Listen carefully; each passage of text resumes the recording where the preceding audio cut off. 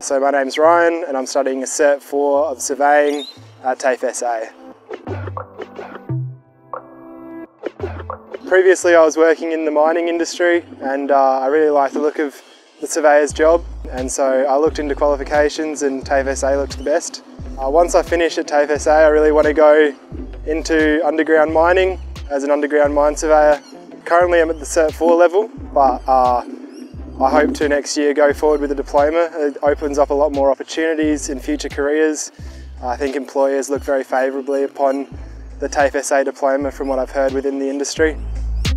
The lecturers here are very supportive, they're very patient. If you don't understand something, they'll keep going through it with you and keep giving you help. Like, as long as you ask questions, they'll answer them as best as they can.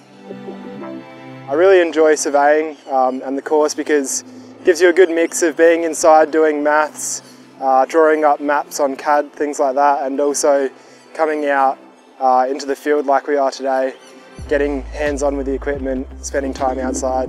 It's a very good mix.